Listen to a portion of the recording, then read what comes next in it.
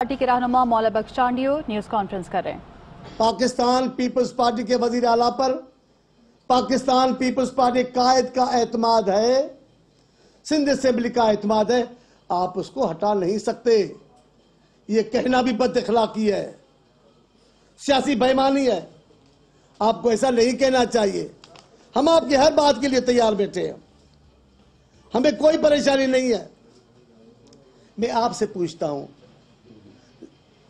Chief justice साहब ने तो अच्छा किया। उनको बोला है कि आप जेआईटी पे ना बोले। तो ईमान से मैं सोचता हूँ, फिर किस पे बोलेंगे? ये जो दो बुजरा बोलते हैं, ये अपनी कारकर्दगी कभी बताते हैं? कभी बताते कि हमारी वफाक की हुकूमत ने ये क्यों ये किया है? कभी बताते हमारी वजारत ने ये किया है? मीडिया के हवाले से जो जो सूरत हाल है, आप वज़ीर इतला तो उस पर बात करें ना। आप साहबी दोस्तों के मसाइल पे बात करें ना, जबरी बरतरीफियों पे बात करें ना साहबी दोस्तों के बेरोजगार होने पे बात करें ना, मोहतरम मुकर्रम नाम इदारों से अलग किए गए हैं, जिन जिनसे इदारों की साख कायम थी, उनको निकाला जा रहा है, उस पर बात करें ना। आप आकर आकर आसिफ साहब पर बोलते हैं, बिलावल साहब पर बोलते हैं। ये तो अच्छा बोलते हैं, हमें तो अच्छा लगता है। ये तो ज़िंदगी की दलील है। कि सारे पाकिस्तान में आपकी ज़िंदगी के लिए बिलावल साहब का नाम है और आसिफ साहब का नाम है। नहीं तो आप तो कब के मर गए होते। हमें परेशानी नहीं है। हमें परेशानी, बिल्कुल, मुझे ईमान से बिल्कुल परेशानी होती। जब ये उधार का लिया हुआ वज़ीर इतलात बात करता है। ये इनकी मिसालें ऐसी है ईमान से, ये नायलोन का जोरा भर पाँव में पूरा हो जाता है। पहले हम साइज़ देते थे हाथ की, भाई इतना जोराब चाहिए। जब से नायलोन आई तो साइज़ देनी नहीं पड़ी जो ले आते हो, आपको पता है मोजे ले आते हो। हर हर पाँव में पूरे हैं। और वो पूरे हैं मुशरफ के साथ यूसुजा गिलानी साहब के साथ, उनके साथ। जी, यहाँ पे डब्बू देखा नहीं था ना, वो इंडियन अदाकार था डब्बू एक। उसकी भी डिज़ाइन ऐसी थी। आप देखा लिया चढ़ते सूरज को गालियाँ देना। दे दे, बिलावल साहब पे बात करें। मैं बता देता हूँ, आप गुरूब नहीं हो रहे हैं। आप गुरूब हो रहे हैं। हम तुलू हो रहे हैं। बिलावल साहब, आने वाला कल है। आप गुजरता हुआ कल हो। चढ़ते सूरज को गालियाँ देना है मशगला यही अंधेरों का। चढ़ते सूरज को गालियाँ देना है मशगला यही अंधेरों का। शब परस्तों के रूठ जाने से काम रुकता नहीं सवेरों का। अल्लाह रहम करे मोहसन भोपाली पर क्या बात करके। और मोहसन भोपाली ने एक और अच्छी बात भी किया। बहुत अच्छी बात है। कमजर का क्या है बड़ा अच्छा? जाहिल को अगर जहल पे ये गुजरा है, अच्छी बात है। और कमाल की बात है। जाहिल को अगर ये वज़ीर इतलात के बयान सुनकर और वो एक बड़ा बड़ा दानश्वर पंजाब में बैठा हुआ है। जिसको बोलना आता है न अल्फाज आते हैं उनको। बस ऐसे, पराई ताकत पर अंधे बने हुए हैं। पराई ताकत पर। अपनी ताकत नहीं, अपनी ताकत है, छह सीटें हैं। को भी असेंबली में ज़्यादा हैं। पराई ताकत पर अंधे बने हुए हैं। और इनके लिए कहा गया है, ये आँखें होते हुए अंधे हैं, काने, कान होते हुए बहरे हैं। इनको सुझाई नहीं देता। ये थोड़ी सी चमक पर चलते हैं, फिर अंधों की तरह इधर उधर देखना शुरू कर देते हैं। इन्हीं के लिए कहा है कि जाहिल को अगर जहल पे इनाम दिया जाए, इस हादसा वक्त को क्या नाम दिया जाए? जी? जाहिल को अगर जहल पे इनाम दिया जाए, इस हादसा वक्त को क्या नाम दिया जाए? मैं खान की तोहिन है, रिंदों की हतक है, कम सर्फ के हाथों में अगर जान दिया जाए। एहसान फरामोश मोसन अवाम दुश्मन जमहूरियत दुश्मन ये सियासत में इससे बड़े इल्ज़ाम और क्या होंगे?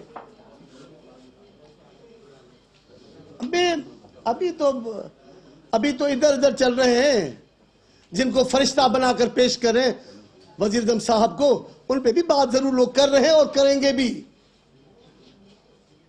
हमसे भले हमारी प्रॉपर्टी पूछे। अभी कल भी कह रहे थे, हम ईमानदारी से कमाया हुआ है पैसा वज़ीर साहब का। मुझे बताएँ तो सही वो काम। जो कंपनियाँ छुपी हुई थी, जो बताई नहीं की वो माफ़ी। जिन्होंने डिक्लेयर किया है, वो फंस गए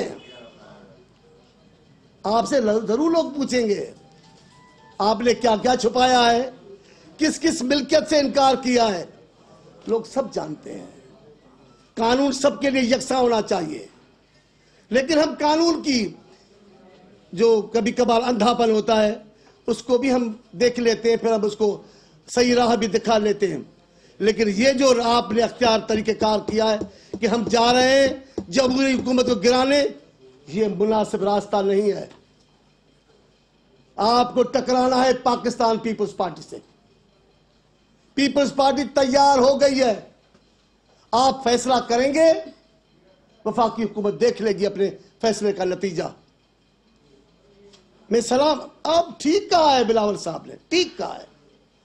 देर नहीं होती। बड़ा घमंड होता है लोगों को ताकत पर।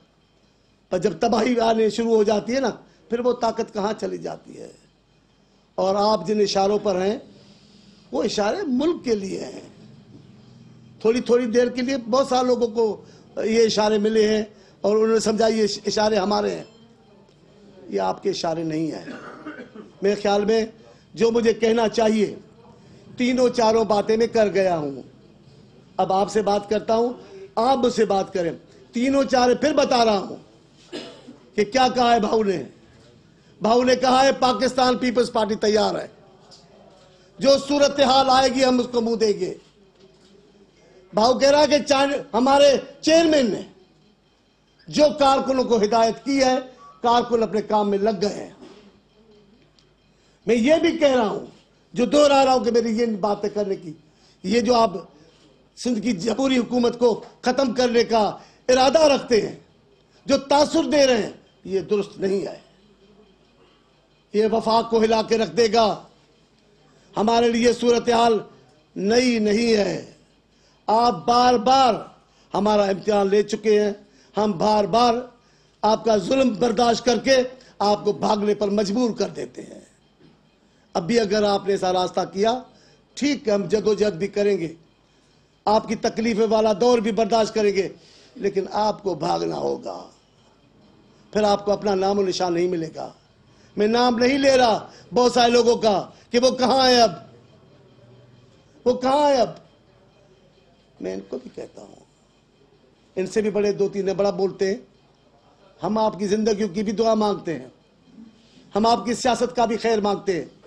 लेकिन आपने जो रास्ता अख्तियार किया है, आप गुमनाम हो जाएँगे। गुमनाम हो जाएँगे। गुमनाम हो जाएँगे। बड़ा जी चर्चा था। भुट्टो साहब को सजा आई। पूरा पाकिस्तान बड़े बड़े वकला बड़े बड़े सहाफी बड़े बड़े चुगादरी सियासतदान उस फैसले को दुरुस्त करके हमारे साहब को काफर, गैर मुस्लिम खाइन जालिम, पता नहीं क्या क्या कहते थे। वक्त गुजर गया, हवा चली और वो निशान नामो निशान गुम हुए। आज अपना पराया कहता है शहीद जुल्फकार अली भुट्टो अदालत ने कहा वो मुजरिम था।